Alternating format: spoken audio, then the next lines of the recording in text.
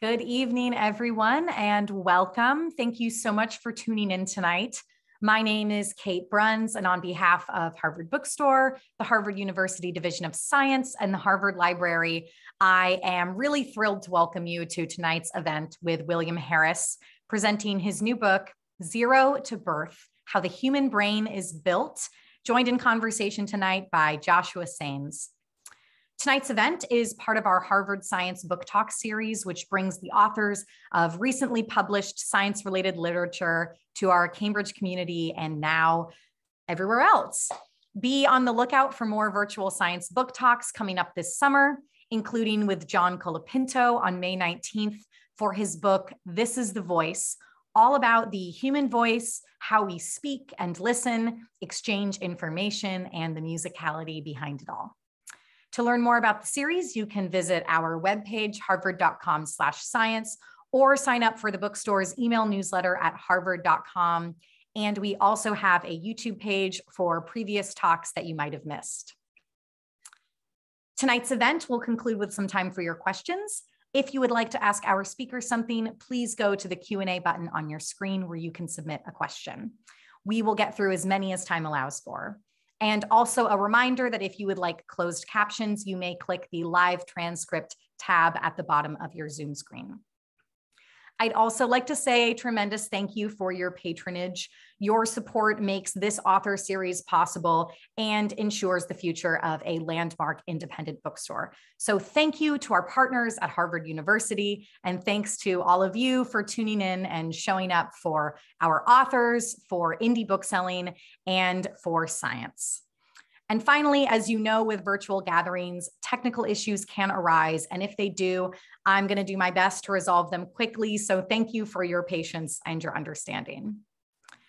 And now I am pleased to introduce tonight's speakers to award winning neuroscientists Dr. William Harris has had an extensive career spanning two decades at University of California, San Diego, and another two decades at Cambridge University, where he was head of the Department of Physiology, Development, and Neuroscience. He's joined tonight by Harvard's own Dr. Joshua Sanes, where he is professor of molecular and cellular biology and the founding director of the Center for Brain Science. Dr. Sanes served on the planning committee as well for the incredible NIH Brain Initiative. This evening, they will be discussing Dr. Harris's new book, Zero to Birth, a chronicle of the human brain's unique and breathtaking development. NYU professor Moriah Thomason praises the book, quote, combining humor with state-of-the-art science, Harris tells the stories of the scientists who pushed the frontiers of our understanding and crafts a tale that leaves you smiling. We're so pleased to host them both tonight. So without further ado, uh, Bill and Josh, the digital podium is yours. Well, thank you very much. Um, so let me uh, introduce uh, to everybody uh, tonight's author, my old friend, Bill Harris. I'll tell you a little bit about him, uh, trying not to eat into his time. Um, Bill started his life in Toronto and then migrated steadily southward for a while. He went to college at UC Berkeley and then graduate school at Caltech, uh, where he worked with the uh, very well-known founder, really, of Drosophila neurobiology, Seymour Benzer. Uh, he then came eastward, and that's where I met him in the Harvard Neurobiology Department, where he worked with Hubel and Wiesel, uh, switching to vertebrates, uh, working on the visual system, beginning his uh, own career studying the visual system of lower vertebrates, salamanders, xenopus, zebrafish, um, he then uh, went back to San Diego as a faculty member, as you just heard, where he began um, a long and very productive 40-year uh, uh, professional and personal collaboration with Christine Holt. Um, over that time, uh, they shared a lab in which they uh, collaborated often, uh, but probably more often pursued their own separate and complementary interests in the development of the visual system. Um, they also collaborated productively at home. Uh, they're the parents of uh, two wonderful children who uh, carrying the Holt Harris scientific tradition into another generation. Um, they moved uh, to Cambridge, England uh, for Bill and back to England for Christine in the early 2000s uh, and were there continuing their highly successful work, again, some collaborative, mostly separate, uh, until uh, the very, very recent past. Um, Bill has been an author of a really wonderful textbook on developmental neurobiology that's gone through a few editions. And what he's done now is take his uh, knowledge of the field uh, from the book, from his own experience, um, and his uh, excellence in presentation, and put it together in this book, which uh, makes developmental neurobiology uh, live and exciting for a general audience. So let me turn it over to you, Bill, and um, tell us about the book, and then I'll come back for some discussion. Great.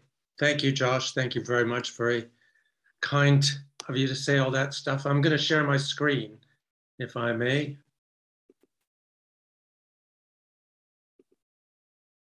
Can you see that as a slide? Yes. Yes, okay. So the book focuses on the key moments of brain development. It's a coming of age story for your brain, if you like. The chapters, they focus on concepts as they apply to the successive stages of brain development. I worked as a developmental neurobiologist throughout my career, trying to understand a little about how the most complex biological thing in the known world is built. So let's start right in with chapter one, called The Rise of the Neurons. This chapter is about how some of the cells of the early embryo become the founders, the Adams and Eves of our brains. And here we see Hans Spemann, who worked in Germany in the early 1900s, and his famous transplant experiments. At a stage of development known as the blastula, which is basically a hollow ball of cells, a thousand cells, and he did this in newts, not in humans, of course. Spemann transplanted groups of cells from one place in one embryo to a different place in a host embryo. And he found that the transplanted cells of the donor incorporated themselves beautifully into the host, meaning that they were multipotent. They were capable of making muscle, bone, skin, guts, blood, and brain, etc. And these multipotent cells are known as embryonic stem cells. But when he did the same experiment at a slightly later stage, just a few hours later, at the beginning of a stage called gastrulation, which happens at about three weeks in humans, he got a hugely surprising result. The embryo had grown a Siamese twin to which it was joined belly to belly. That is, the host embryo had grown the twin. And this was incredible totally unexpected. And it led to our current understanding of how some of the cells in the embryo become committed to make the nervous system. This is Hilde Mangold, a graduate student of Spemann, who transplanted the same groups of cells as Spemann had at the gastrula stage, but this time she used two different species of newts as donors and hosts. She used a light colored species as a donor and a dark colored species as a host. And this allowed her to determine the cellular composition of the extra twin and she found that almost all the cells of the extra twin, including the brain, so here's the normal animal, here a cross section of the normal animal, and here's the normal neural tube or beginning of the nervous system, and here's the extra embryo over here, and here's the host, that mean the, yeah, the, the, the, the extra neural tube, and it's dark, so it's of host origin. The donor cells were mostly these light ones here, in an ancient vertebrate structure known as the notochord. And these cells are able to organize the other cells around it to make structures like the nervous system. It took nearly 70 years to get the first insights into how the cells of this region, now known as the organizer, influence the surrounding cells to do things like become the nervous system it was in 1992 that Richard Harland and his colleagues at Berkeley found a protein that they called noggin that the organizer releases and it causes these multipotent embryonic stem cells to become committed neural stem cells. And thanks to many such recent advances in the field, one can now take cells from a human being, expose them to factors that reprogram them to become like multipotent embryonic stem cells, and then expose those cells to factors like noggin so they become committed neural stem cells. And if such cells are grown in the right way, they build tiny neural structures like these little guys here in the Petri dish. And we call them mini brains or brain organoids. And it's all in a Petri dish. Now we can grow human brain organoids and use them for research into human brains. And they have tremendous medical potential for understanding diseases and neural repair. Chapter two is called Bauplan of the Brain because it's about how the brain builds itself from these neural stem cells, which are dividing at this point. One of the things highlighted at this chapter is that growing brains look remarkably similar in different species of vertebrates. Here's a newt and here's a human. And the forebrain is in yellow and green. The midbrain is in blue and the hindbrain is in, in uh, pink and orange, and the spinal cord is in lime green in both animals. You can see that it's organized the same way. And this suggests a deep evolution of this organization back to the first vertebrates some 600 or so million years ago, which are thought to resemble lampreys, the extant, extant animal lampreys, whose brains are organized in pretty much the same way as ours. And it's patterned by fabulous molecular mechanisms that are discussed in chapter two of the book. Now, while the brain is being divided and subdivided into its many regions, it is also growing at a tremendous rate. Chapter three is called proliferation, and it talks about how the growing population of neural stem cells produces a brain of the right size and proportions. For example, uh, young neural stem cell, the ancestral cells of the uh, ancestral cell of a brain, is dividing, uh, proliferating at first. So one neural stem cell makes two neural stem cells. Two neural stem cells make four, four make eight. The growth is exponential, as you can see in the first trimester. And it's estimated that near the end of the first trimester of pregnancy, the fetal human brain is making more than 15 or 20 million cells per hour. Um, during the second trimester, growth becomes more linear, and that's because um, when a neural stem cell divides, it sometimes makes two different daughters, only one of which continues as a neural stem cell, and the other becomes a neuron, which never divides again. Now, by the third trimester, neural stem cells stop making any more neural stem cells, and they make two daughters, both of which are neurons that never divide again. And so the growing brain runs out of neural stem cells, and new neuron production grinds to a halt by the time of birth. Another story in this chapter is that it's been known for centuries that human brains don't seem to regenerate much after injury. But do we really have no neural stem cells in our adult brains? Many vertebrates do. Fish do, amphibians do, reptiles do. Jonas Frisén, working at the Karolinska Institute, discovered a way for looking for new neurons in adult human brains based on carbon 14 that was released into the atmosphere by atomic bomb testing during the Cold War between 1953 and 1963 until the nuclear partial nuclear test ban treaty was signed. And then you could see that the C14 in the atmosphere declined as it was taken up into uh, various uh, growth. And we can trace the extra C14 in tree rings. For example, this tree ring laid down in 1950 has no higher than background level of C14. But tree ring from 1985 has a substantial amount.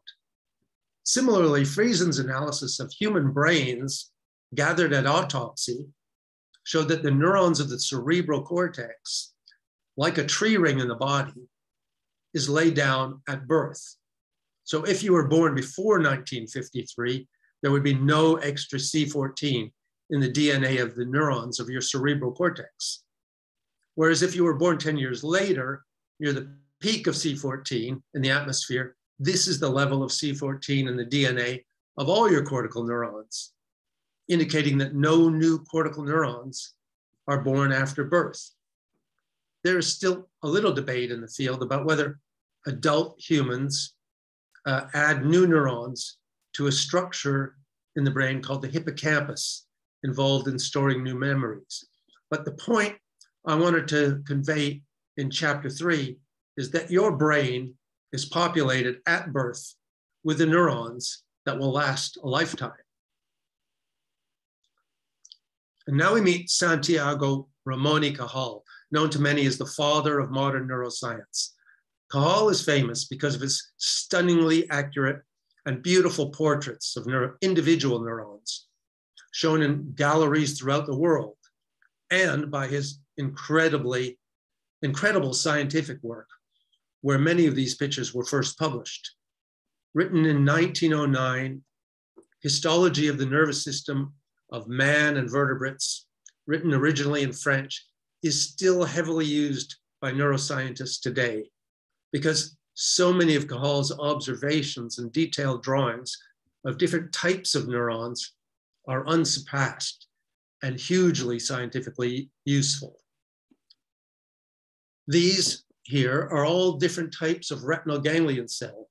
Cajal drew with dendrites. These are the processes that collect information in, in different layers of the retina. And there are many different types of neurons in our brain. No one really knows how many because neuroscientists like Josh are still trying to figure out how to categorize them. Josh has identified, I think, about 30 different subtypes of retinal ganglion cell in the mouse. And here's one type that was found in Josh's lab that blew me away. We're looking at the retina on face, not a cross section as the previous slide was. Um, and it's interesting that these cells are sensitive to downward motion in the visual field. And this asymmetric anatomy they have, where they don't have their dendrites all around, but just in one area, is not the result of visual experience. It's amazing and mysterious how any individual neuron type gains its distinctive morphology. And it's still an area we know fairly little about. We do know a little bit more about how cells get their individual fates. This is a graphical metaphor from a of a developmental landscape created by Conrad Waddington, a British developmental biology theorist of the mid 20th century.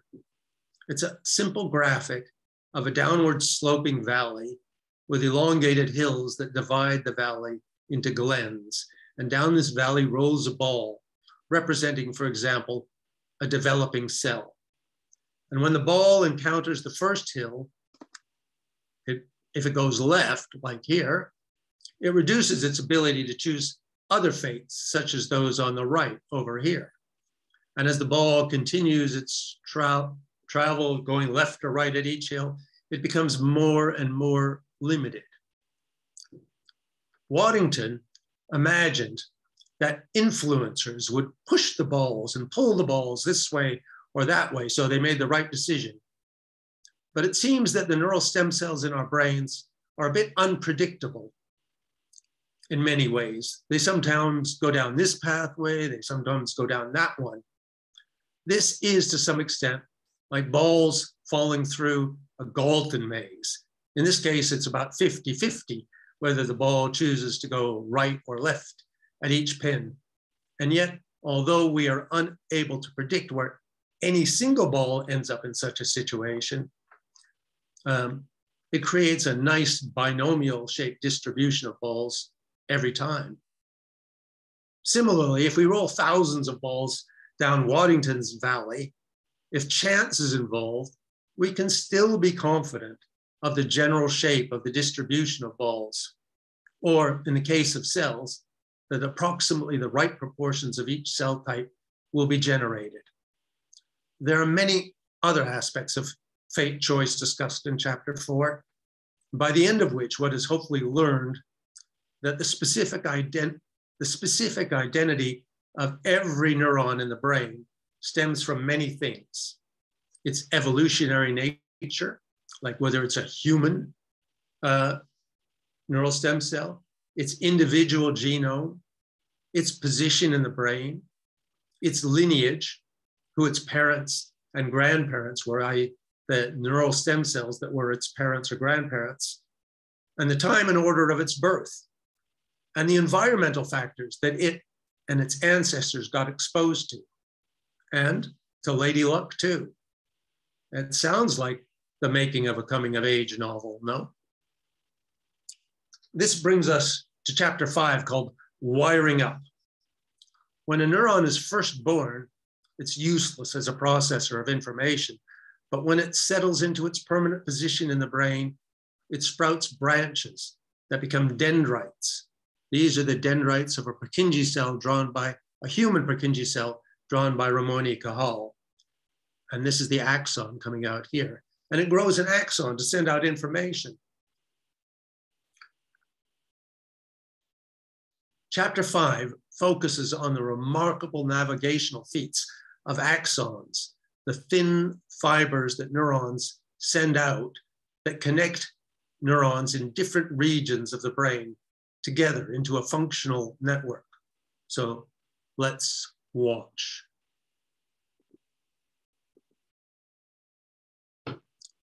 These are the axons of two retinal ganglion cells in the brain of an embryonic frog, and they're heading to their targets in the midbrain. I'm going to stop it here. And they're paying out the axon behind. Note the enlargements at the tips of these uh, growing axons. These are called growth cones. Cajal had named them. Never seen them in action. And when they reach the target, they slow down and begin to branch. Oops. And we can break growing axons down into two classes. There's the pioneers, like these ones shown on the left here, like this one shown on the left, and the followers, like these ones on the right. The pioneers are guided by attractive and repulsive cues that pattern the brain and are in their environment. And the followers glom on to the early pioneers uh, by selective cellular adhesion.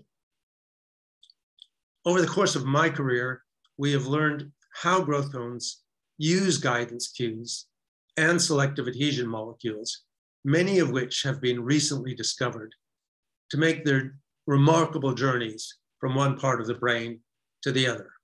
And this is what's covered in chapter five of the book. So, how do they do it? I'll give you a feel for it uh, by introducing you to my new grandson, Adam, here whom I've morphed into a growing neuron of human proportions.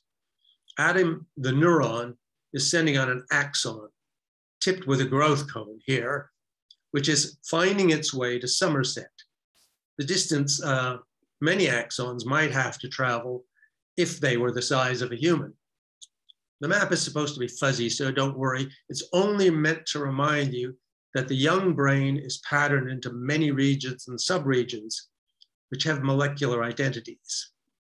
And these pioneering growth cones use the regional differences as guidance cues, like you or I might read a map to interpret where you are now and where you need to go next. And this molecular map of the young brain is being used by different axons, traveling in different directions to other places in the brain. Like different people may all consult the same map to navigate to different places investigating axon growth and guidance during development is helping us search for ways to treat neural injuries, such as spinal cord lesions. Research has revealed that adult mammalian neurons are intrinsically less able to regrow than our young neurons. they appear to have lost some of the mojo of their youth. Research also indicates that the site that bears the scar of the neural damage is full of material that inhibits the growth of axons. And another huge challenge is the fact that the guidance cues that were used by axons to find their targets during their initial outgrowth in the embryo may no longer be available to guide regrowing axons in the adult, and the distances are much greater. So while there has been considerable progress in understanding the underlying challenges for regeneration, there has only been limited success in full recovery of spinal cord damage, although progress is being made. Next, from chapter six, we consider the moment in the lives of two neurons when an axon of the first, having arrived at the target region, meets a dendrite of the second. So here's the axon and its terminal, and here's the dendrite of the second. The two recognize that they are meant for each other and they stick tightly together and they seal the deal by making a synapse. And this is an electron micrograph of a synapse uh, blown up tens of thousands of times. Um, and these are, these are the little vesicles in the presynaptic element that are full of neurotransmitter. But it's like finding your perfect partner, partner. And this is the next level of precision after you've navigated correctly to your target. And one of the most amazing stories in chapter six comes from the work of Roger Sperry, whom I was lucky enough to be a teaching assistant for when I was grad student at Caltech. In one key experiment, Sperry loosened the eyeball of a frog in its socket. He then cut the optic nerve, rotated the eye 180 degrees, and sewed it back in upside down. So this is the upside down eye. The question he was asking with this experiment was whether the regrowing nerves would find their old synaptic partners, for if so, vision would be rotated for the animal. And the answer was yes. When vision returned, the frogs behaved as if their world was back to front and upside down through the rotated eye. The axons had grown back to their old places in the midbrain, even though this was clearly maladaptive. Moreover, the operated animals never learned to snap in the correct direction. So Sperry imagined that every neuron in the retina was chemically marked with its coordinates, its X and Y coordinates, if you like, as was every neuron in the target area of the midbrain, ensuring beautiful topographic mapping. He called this chemoaffinity. Many molecules, including the ones that Sperry might well have envisaged, have been discovered. Indeed, the modern view is that most neurons seem to know with whom they wish to make synapses. Axons of some cells show an affinity for, a chemoaffinity, if you like, the dendrites of others.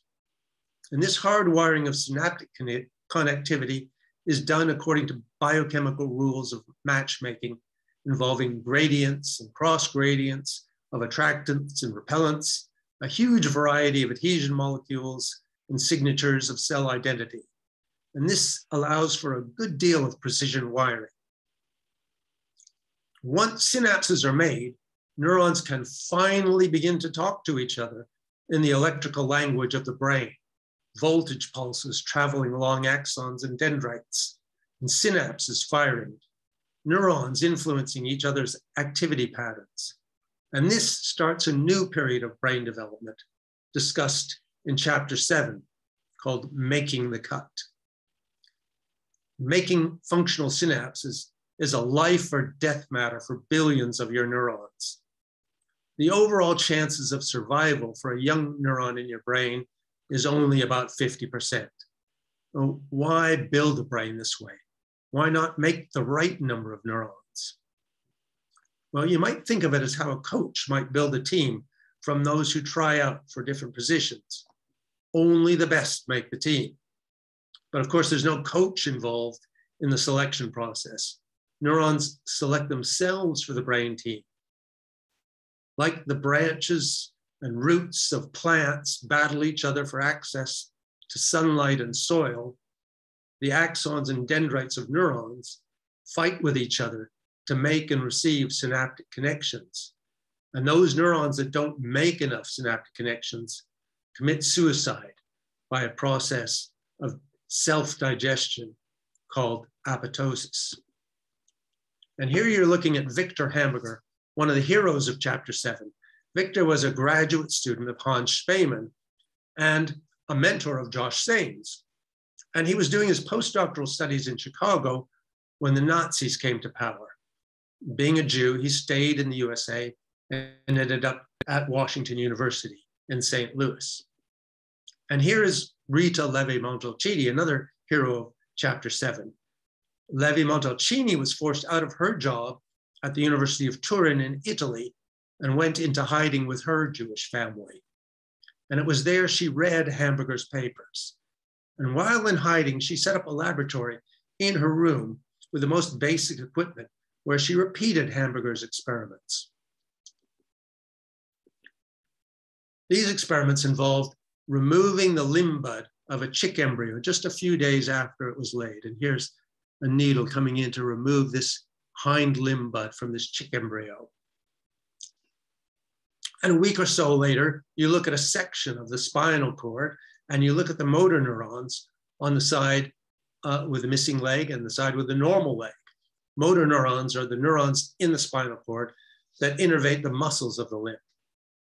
And the finding was that there were fewer motor neurons on the side with the missing limb. Levi Montalcini looked at the spinal cords of the embryos on successive days following the removal of the limb, and she saw that most of the neurons had already been generated on both sides. But then the motor neurons on the side without the limb began to die.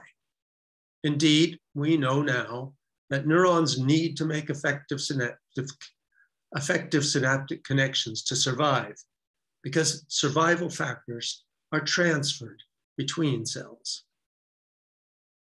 After the war, Hamburger invited Levi Montalcini to his lab, and they worked closely together for many years. Their most remarkable finding was that even in normal development, the spinal cord makes almost twice as many motor neurons as survive. Look at the blue line there in this graph. The same is true with a frog or a chick or a mouse or a human. It's not just muscles and motor neurons, though. Every part of the brain needs to be well matched. For example, the right balance of excitatory to inhibitory neurons in the brain depends on the death, excuse me, of overproduced inhibitory neurons. It's based on feedback mechanisms involving synaptic communication. Now, a young neuron has made enough connections to survive. It has made the cut. It has established synapses along its branches and dendrites roots. It now has a good chance of surviving for a lifetime. But this brings up the period of refinement, chapter eight. When the war for survival winds down in a young brain, one finds that the young survivors have usually made extensive connections. It's a period of exuberant connectivity. But like plants, young neurons get pruned. Again, this is largely done on the basis of electrical communication, whether the synapses are strengthened and survive or outcompeted and pruned away. And this is refinement has going on, has been going on before birth in many periods, many parts of the brain but it continues into childhood in, in the cerebral cortex. And one of the most famous experiments on synaptic pruning in the brain was done by my supervisors, David Hubel and Torsten Wiesel at Harvard Medical School, which is where I met uh, Josh. And they raised cats with a patch over one eye. And they found that if the patch was removed anytime after three months, vision through the deprived eye was lost in the visual cortex throughout life because synapses serving it had been pruned away, while the synapses from the non deprived eye had taken over. This is demonstrated dramatically in these images from the visual cortex. The synaptic territory of the right eye is in dark and the left eye is in light. And in a normal animal, they compete rather equally. And have an equal amount of synaptic territory in the cortex. But when the right eye is deprived of vision, so it has no role in driving the postsynaptic cells in the visual cortex, the other eye, the left eye, takes over. The critical period for binocular vision in the cat is over by three months. It takes longer in humans, several years, but the earlier one corrects conditions like lazy eye, the better. Language is another example of something that happens through a critical period, and there are many. It's easy to learn a language when you're a kid, not very easy to learn a language when you're an adult, generally. But as the neuron adjusts its synapses and is pruned through this period of maximum plasticity, it becomes more and more shaped to its recognizable form of an adult neuron in the brain, one that Cajal might have done a portrait of. Like this reconstructed adult neuron in a mouse brain, showing where all the synapses are. I think this came from Jeff Lichtman's lab. This neuron, with its thousands of well-tuned, refined connection, stays for life. It embodies some of the live wires of the functioning adult brain. Although it's always changing a bit, just like its owner. Here is a bit of a dendrite in the visual cortex of an adult mouse, and you can see the spines changing over the course of days.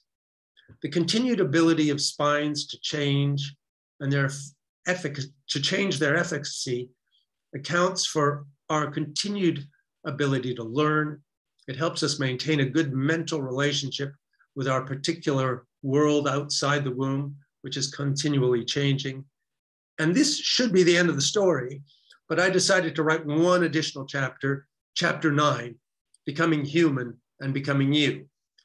This final chapter is like an epilogue, and it talks about what's special about the human brain, things like the size of the cerebral cortex, which is, becomes the dominant neural structure in humans, the number of regions of the cerebral cortex, the variability in the sizes of these regions, the considerable asymmetry of human brains, and describes what know, what we know, actually what little we know about how the principles described in chapters one through eight are orchestrated to make human brains that are human and different to those of animals and our closest hominid ancestors, and how the mechanisms that are involved in building a brain ensure that everybody, even identical twins raised in identical environments, is born with a unique brain which is different to everyone else's.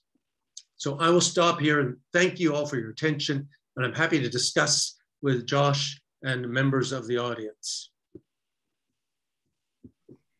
Great, fantastic summary. Um, obviously, a topic close to my heart, and I have.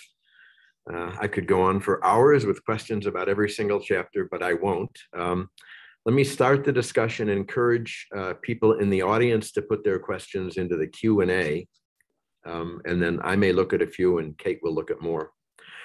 So let, let me start with um, a topic that's especially close to my heart. In the chapters on axons and synapses, you talk a lot about the specificity of the connections that uh, neurons make with each other. And of course, that specificity is required to make the circuits that underlie uh, everything we think or decide or move or do or whatever.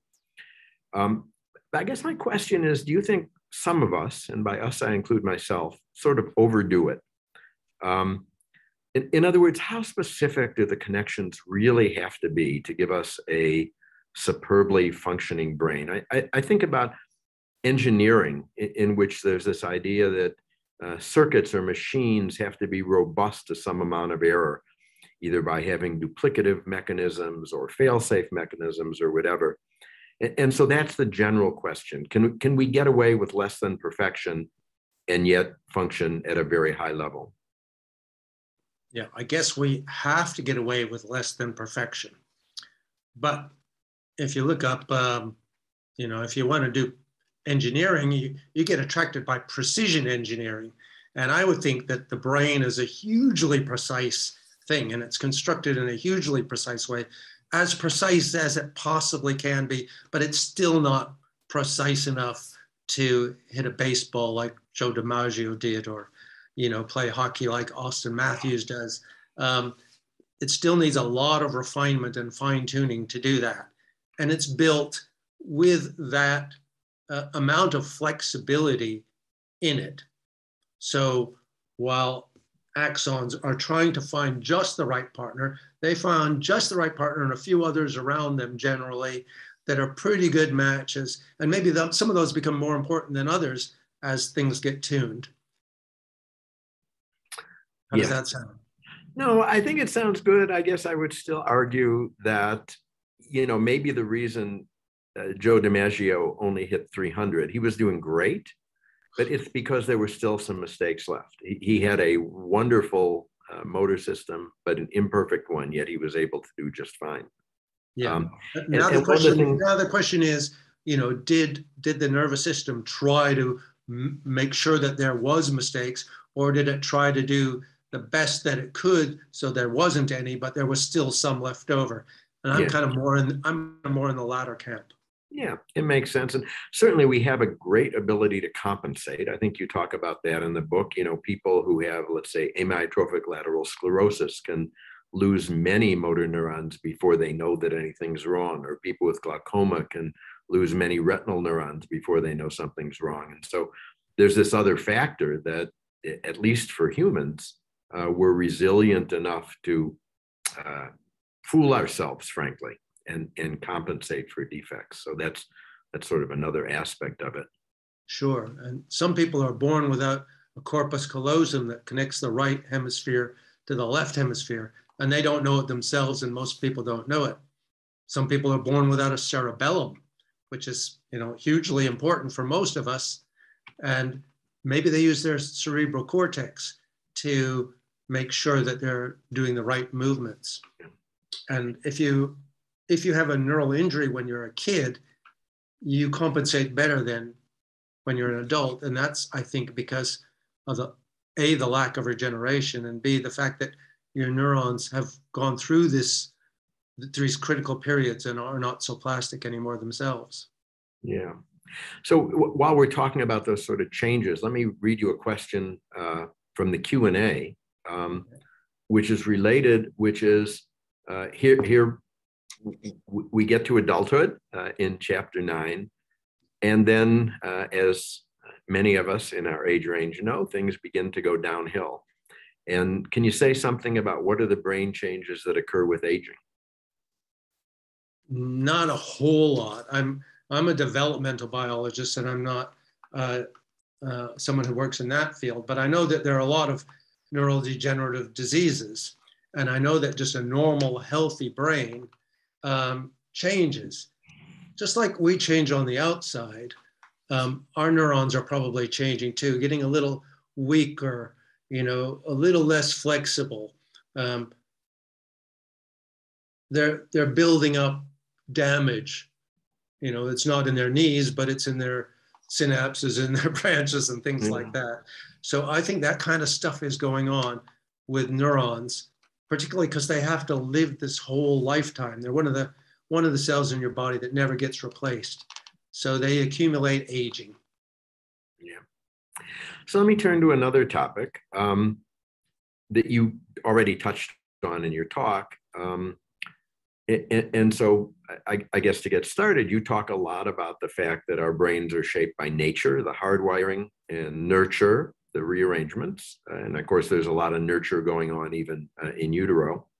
Um, but you also talk in several places about the idea that there's a role for chance. Uh, it comes up in the description you gave about uh, cell type specification. It comes up in cortical patterning, dendritic patterning. Um, and of course, it's very hard to prove that something's random, uh, to distinguish that from uh, experimental imprecision. Um, but if you're a believer, and I certainly am, um, then we have to ask how much of a role is there for stochasticity? Does it does it all average out, as you say? If you flip a coin once, you don't know what the outcome will be. If you flip a coin a thousand times, you pretty much know what the outcome will be. Um, or is there enough stochasticity that could actually account for some of the individual differences in human behavior that we see? Let's say even between identical twins uh, I, I, would think so, yes. a, a good example is the red and green cones in our eyes. You can have a red cone sees red light well, or a green cone that sees green light well. That's two genes that are next to each other. And um, one can fire and the other not fire in a cell. And it seems to be done randomly. Some people have more red cones than green cones. Some people have more green than red. Most of us have about 50 50. But the people that have more red than green see a slightly different world than the people that have more green than red. So that's just one example of a, a, a random thing, what seems like a fairly random thing that's happening. But genes are switching on and off in a stochastic way. And while it's true that if you build a coin flipper and put it in an isolated room, you can get it to flip ahead every time. Um,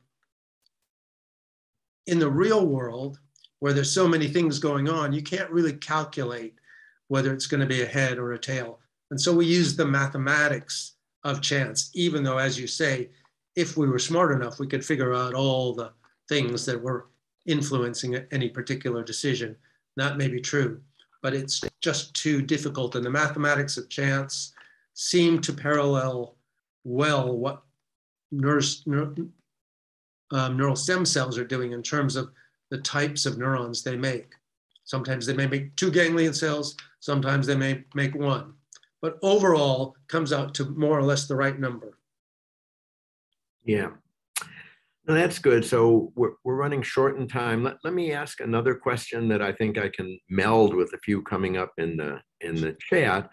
Um, and that, that has to do with some of the translational uh, relevance, the disease relevance of development. I mean, I think a lot of people probably including you and me, uh, study neural development because it's just so damn fascinating and we want to know how it works.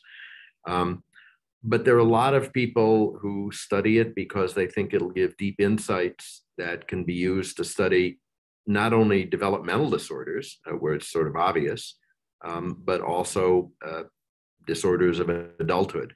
Um, so, for example, you talked a little bit about apoptosis.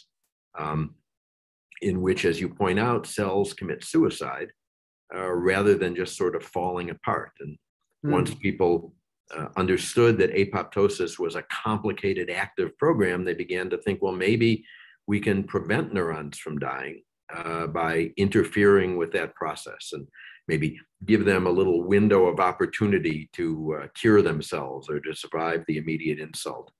Um, another one would be you talked a little bit about the critical period. People uh, sort of talk about using what we've learned about how the critical period is controlled to see if we can reopen it. For example, if people didn't have lazy eye corrected early on, can we go back later on and correct it? Um, can we ultimately help people learn a new language even when they're uh, an adult?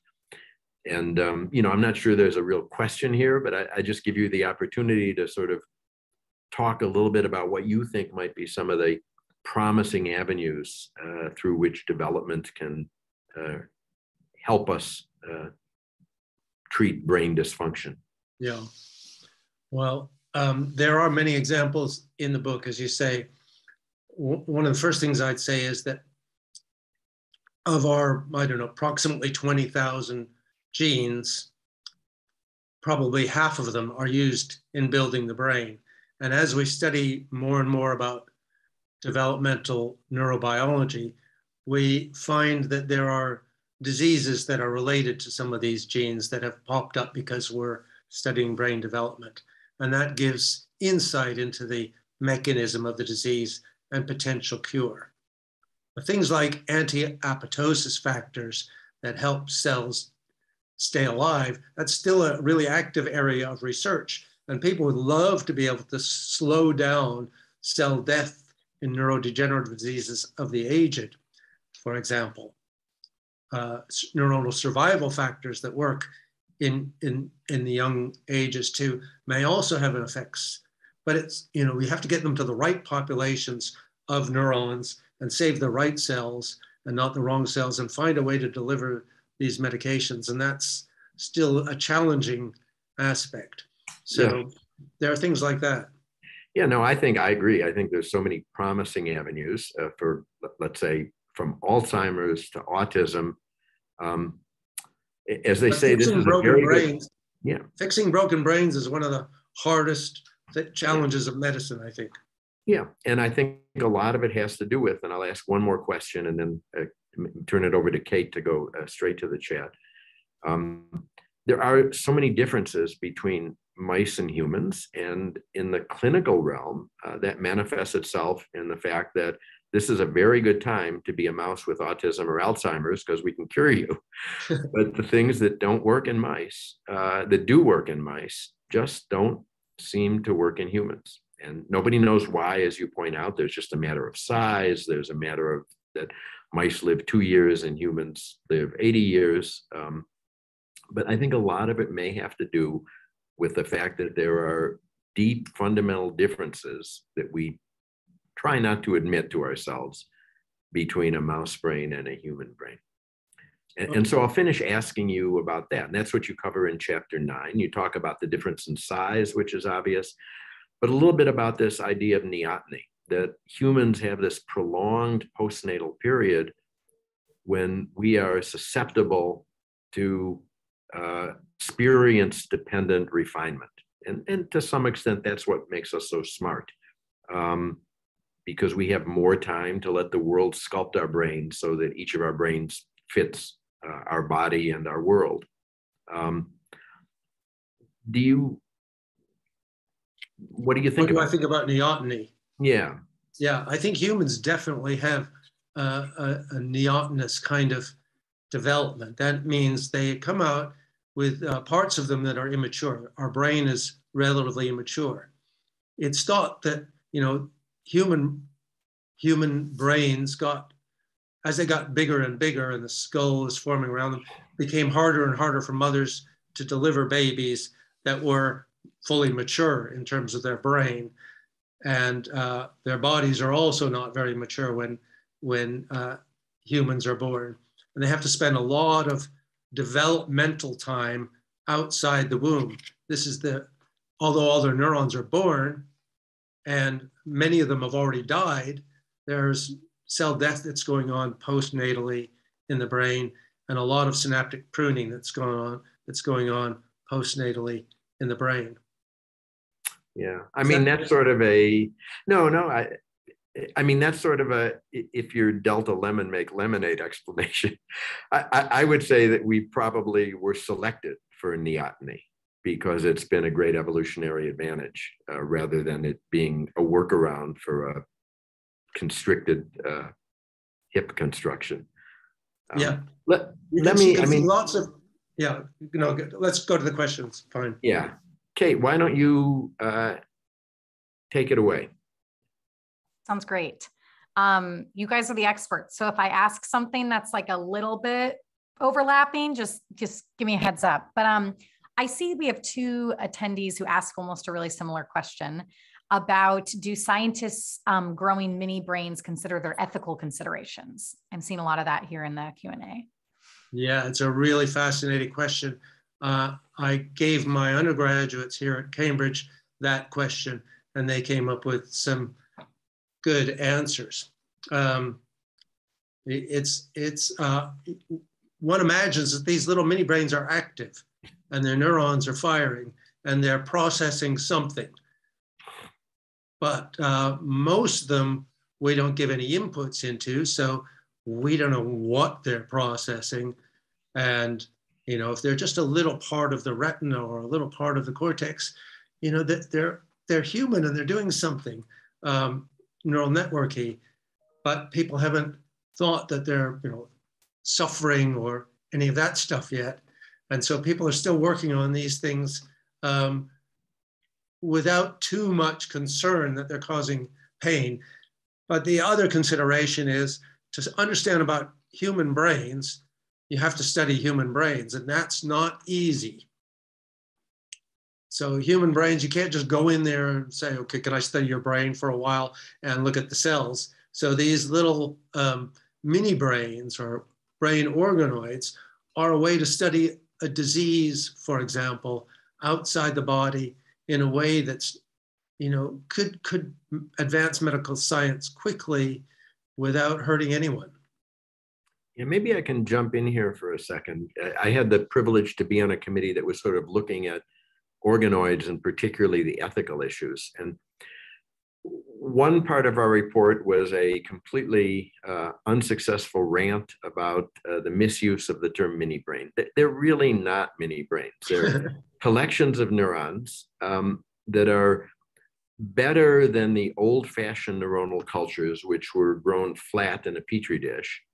Um, but they're not organized uh, terribly well. They don't really uh, look like any particular part of the brain. They certainly don't include multiple parts of the brain in any kind of order. And even the individual neurons never mature past a probably a late fetal stage. So uh, it's something that we have to think about because science moves fast and who knows what will happen. Yeah. But I mean, part moment, of the reason that part of the reason that they don't grow is they don't have a blood supply. Yeah. And so and people are working blood supply, blood and you could make a great big mini brain, a yeah. great big one. Then what would you think? Yeah, no, I mean, I think we have to keep our eyes and ears and ethical antennae open to this. I'm not dismissing it, but I'd say in the foreseeable future, these are not mini brains that are thinking thoughts and feeling pain and having consciousness. And as they get more powerful, which they will, no doubt about it, people are trying to get them blood supplies. That's going to make a big difference. People are trying to put in non neuronal cells, and that's going to make a big difference.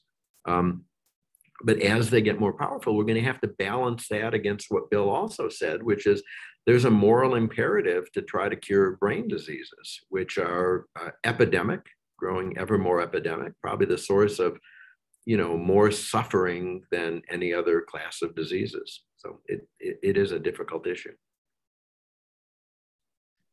Um, thank you for that. It looks like we have time for about one more question, maybe two. Um, so we have a great question here that says, are there any implications of this brain development process for the development of artificial intelligence? For example, things that AI can do, could in theory do, or cannot do at all? Yeah, I maybe Josh knows more about this than I do, but I'm hoping so. I'm hoping that the principles that we're learning about how brains develop and set up their circuits so that they work relatively well and can be tuned. And there are lots of principles we talk about in the book could possibly be used in building machines.